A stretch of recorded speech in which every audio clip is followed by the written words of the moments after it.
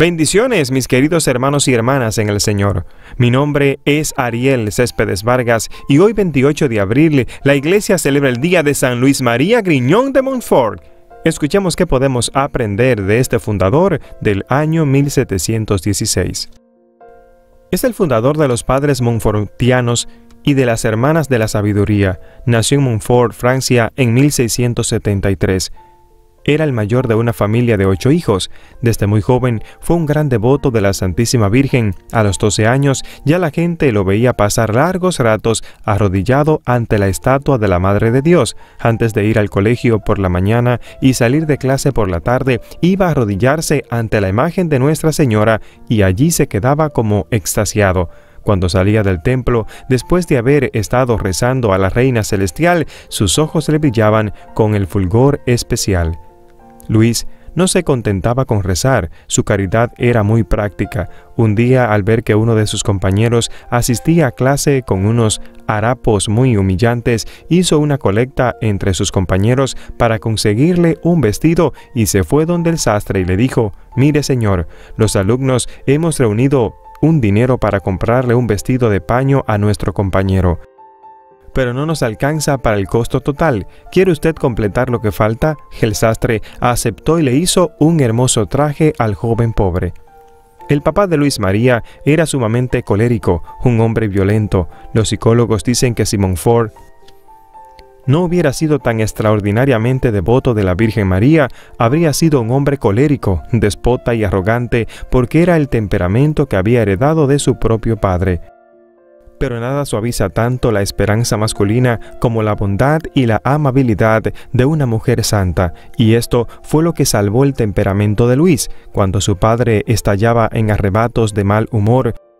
El joven se refugiaba en sitios solitarios y allí rezaba a la Virgen amable, a la Madre del Señor, y esto lo hará durante toda su vida. En sus 43 años de vida, cuando es incomprendido, perseguido, insultado, con el mayor desprecio encontrará siempre la paz orando a la Reina Celestial, confiando en su auxilio poderoso y desahogando su corazón con la Madre de Dios. Las penas que invaden su corazón eran como un hijo cuando se desahogaba con su madre. Con grandes sacrificios logró conseguir con qué ir a estudiar al más famoso seminario de Francia, el seminario de San Sulpicio en París. Allí sobresalió como un seminarista totalmente mariano. Sentía enorme gozo en mantener siempre adornado de flores el altar de la Virgen María Luis Griñón de Montfort era un gran peregrino durante su vida de sacerdote, pero cuando él era seminarista concedía un viaje especial a un santuario de la Virgen a los que sobresalieran en piedad y en estudio. Y Luis se ganó ese premio, se fue en peregrinación al santuario de la Virgen de Chartres y al llegar allí permaneció ocho horas seguidas rezando de rodillas, sin moverse. ¿Cómo podía pasar tanto tiempo rezando así inmóvil? Es que él no iba como algunos de nosotros a rezar como un mendigo que pide que se le atienda rapidito para poder alejarse. Él iba a charlar con sus dos grandes amigos, Jesús y María, y con ellos las horas parecían minutos. Su primera misa quiso celebrarla en un altar de la Virgen y durante muchos años la Catedral de Nuestra Señora de París fue su templo preferido y su refugio. Montfort dedicó todas sus grandes cualidades de predicador y de conductor de multitudes a predicar misiones para convertir a los pecadores. Grandes multitudes lo seguían de un pueblo a otro. Después de cada misión, rezando y cantando, se daba cuenta de que el canto echa fuera muchos malos humores y enciende el fervor. Decía que una misión sin canto era como un cuerpo sin alma. Él mismo componía la letra de muchas canciones a nuestro Señor y a la Virgen María y las hacía cantar a las multitudes. Llegaba a los sitios más impensados y preguntaba a la gente, ¿aman a nuestro Señor? ¿Por qué no lo aman más? ¿Ofenden al buen Dios? ¿Y por qué ofenderlo si es tan santo? Era todo fuego para predicar. Donde Montfort llegaba, el pecado tenía que salir corriendo. Pero no era él quien conseguía las conversiones, era la Virgen María, a quien invocaba constantemente. Ella rogaba a Jesús y él cambiaba los corazones. Después de unos retiros dejó escrito, ha nacido en mí una confianza sin límites en nuestro Señor y en su Madre Santísima. No tenía miedo ni a las cantinas, ni a los sitios de fuego, y ni a los lugares de perdición. Allí se iba resuelto a tratar de conquistarle almas al diablo y viajaba confiado porque nunca iba solo. Consigo llevaba el crucifijo y la imagen de la Virgen, y Jesús y María se comportaban con él como formidables defensores. A pie de limosnas se fue hasta Roma pidiendo a Dios la eficacia de la palabra y la obtuvo de tal manera que al oír sus sermones se convertían hasta los más endurecidos pecadores. El Papa Clemente XI lo recibió muy amablemente y le concedió el título de misionero apostólico, con permiso de predicar por todas partes. En cada pueblo o vereda donde predicaba procuraba dejar una cruz y construida en un sitio que fuera visible para los caminantes y dejaba en todos un gran amor por los sacramentos, pero sobre todo por el rezo del Santo Rosario. Esto no se lo perdonaban los herejes jansenistas que decían que no había que recibir casi nunca los sacramentos porque no somos dignos de recibirlos, y con esta teoría tan dañosa enfriaban mucho la fe y la devoción.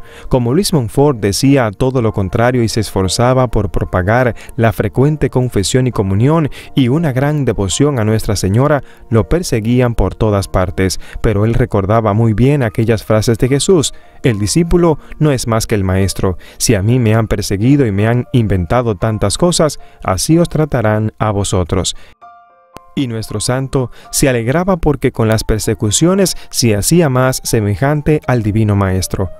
Antes de ir a regiones peligrosas o a sitios donde mucho se pecaba, rezaba con gran fervor a la Santísima Virgen y adelante que, donde la Madre de Dios llega, no hay diablo que se resista. Las personas que habían sido víctimas de la perdición se quedaban admiradas de la manera tan franca como les hablaba este hombre de Dios, y la Virgen María se encargaba de conseguir la eficacia para sus predicaciones. San Luis de Montfort fundó unas comunidades religiosas que han hecho inmenso bien a las almas, a cuya comunidad le puso por nombre Compañía de María y las Hermanas de la Sabiduría escribió Grignon de Montfort uno de los libros que junto con las Glorias de María de San Alfonso ha llegado a ser uno de los libros más famosos que se han escrito acerca de la devoción a la Virgen María. Su título es Tratado de la verdadera devoción a la Virgen María. Este libro se ha propagado por todo el mundo con enorme provecho para sus lectores. Juan Pablo II tomó como lema una frase que repetía mucho nuestro gran santo. Soy todo tuyo, oh María, y todo cuanto tengo tuyo es. Murió San Luis el 28 de abril del 1716 a la edad de 43 años, agotado de tanto trabajar y predicar.